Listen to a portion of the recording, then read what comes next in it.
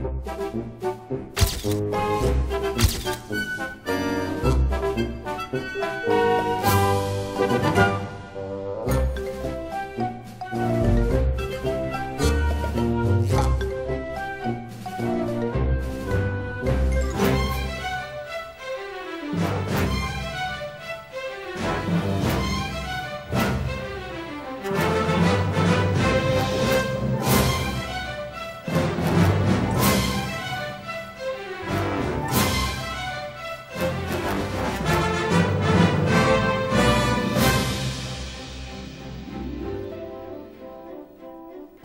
5월 2일부터 14일까지 2주간에 걸쳐 봄 관광 주간을 시행하게 됩니다.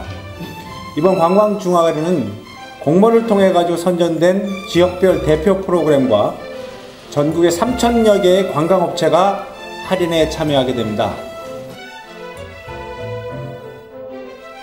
과거에 취약 자녀 가구 여행 제약의 가장 큰 문제점이 됐던 게 자녀와 부모와의 여가 시간의 불일치라고 하는 게 제약 요인이었는데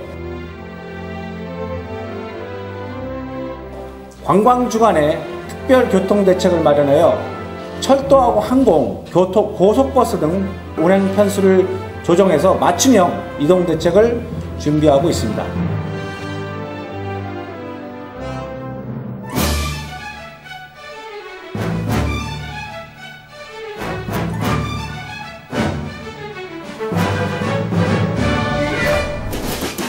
떠나세요.